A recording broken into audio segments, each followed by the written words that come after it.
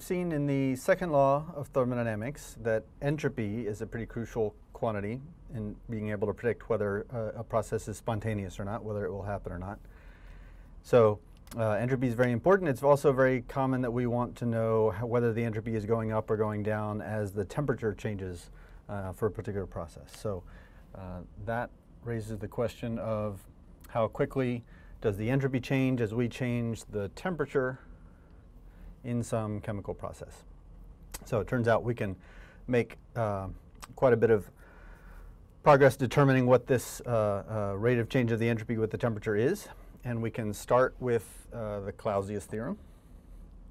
That is a relationship between the entropy and the temperature.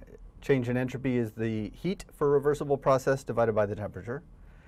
So if we additionally assume that we're doing a process at constant volume so that the heat, so at constant volume dq is the same thing as du, then we can write this as, let's see, I'll write it as 1 over temperature times du. If we're doing the process at constant volume, there's this relationship between the entropy and the energy and the temperature. As one more step, we know something else about the internal energy we know that since we're at constant volume already, the heat capacity at constant volume is du dt at constant volume. So if I just rearrange this expression, if we're at constant volume, the change in the energy is heat capacity times change in temperature. So du is cv dt. We can use that expression to replace the du in this expression. So I can rewrite that the change in the entropy is writing du as cv dt and keeping the 1 over t.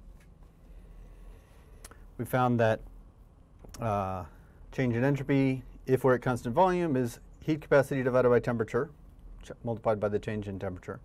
So now, if I just bring the dt over to the left-hand side, this equation can be written ds dt is equal to constant volume heat capacity over temperature. And in particular, since we've done all this at constant volume, both this ds and this dt are happening at constant volume, so this derivative that we're taking is ds dt at constant volume.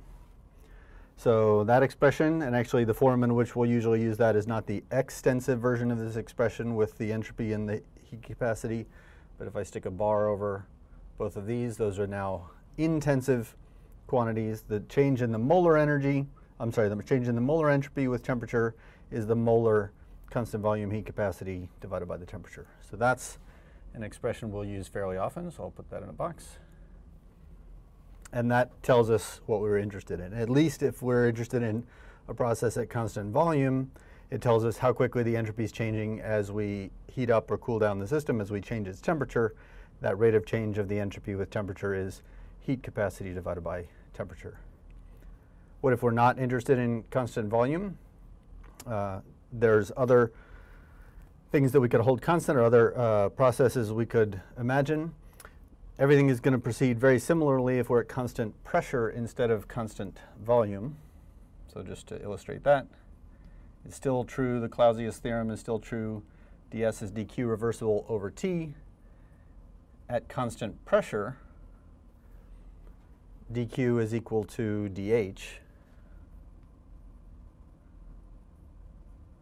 So then entropy would be dH over T.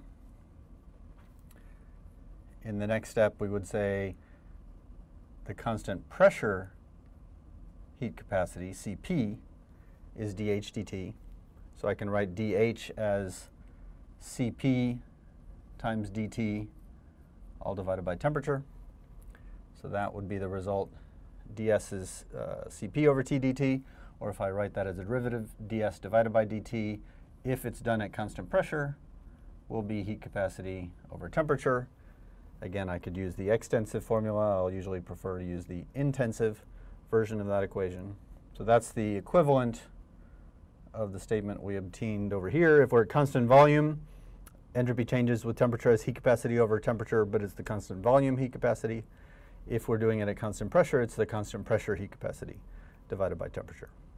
So at least under these two conditions, constant volume and constant pressure, we have an expression for how quickly the entropy is changing with temperature. We can use those expressions to actually evaluate the, the numerical amount that the entropy increases when a system is heated up or cooled down when its temperature changes. So we'll do that next.